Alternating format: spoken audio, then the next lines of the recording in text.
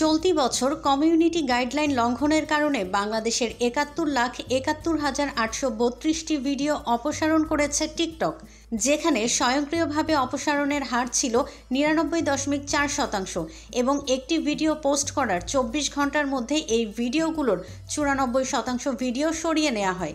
এছাড়া ১৩ বছরের কম বয়সী ইউজার হওয়ার সন্দেহে বিশ্বজুড়ে মোট দুই কোটি ষোলো লাখ উনচল্লিশ হাজার চারশো চোদ্দোটি অ্যাকাউন্ট সরানো হয়েছে। সম্প্রতি কমিউনিটি গাইডলাইন্স এনফোর্সমেন্ট রিপোর্টে এসব তথ্য জানিয়েছে টিকটক। প্রতিবেদনে বলা হয়, দুই হাজার চব্বিশ সালে বিশ্বজুড়ে টিকটক মোট ষোলো কোটি উনসত্তর লাখ সাতানব্বই হাজার তিনশো সাতটি ভিডিও সরিয়েছে যা প্ল্যাটফর্মে আপলোড করা সকল ভিডিওর প্রায় শূন্য দশমিক নয় শতাংশ।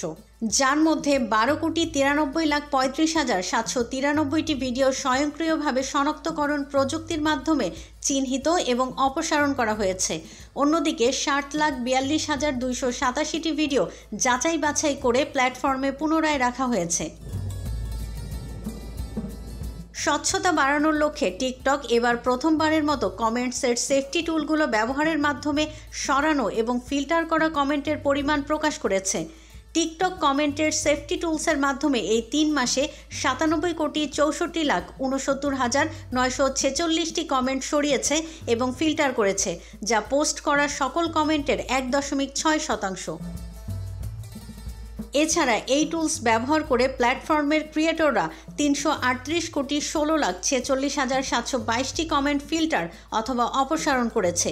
এটি প্ল্যাটফর্ম কমিউনিটির মান বজায় রাখার জন্য টিকটকের স্বয়ংক্রিয় প্রচেষ্টাকে তুলে ধরে। টিকটক জানিয়েছে, সরিয়ে ফেলা কভার্ড ইনফ্লুয়েন্স অপারেশনস নেটওয়ার্কগুলো সম্পর্কে সংক্ষিপ্ত বিবরণীর প্রকাশ অব্যাহত রাখবে প্রতিষ্ঠানটি। এতে একটি নতুন আলাদা প্রতিবেদনে ব্যাহত হওয়া অপারেশনগুলো সম্পর্কেও বিস্তারিত তথ্য পাওয়া যাবে।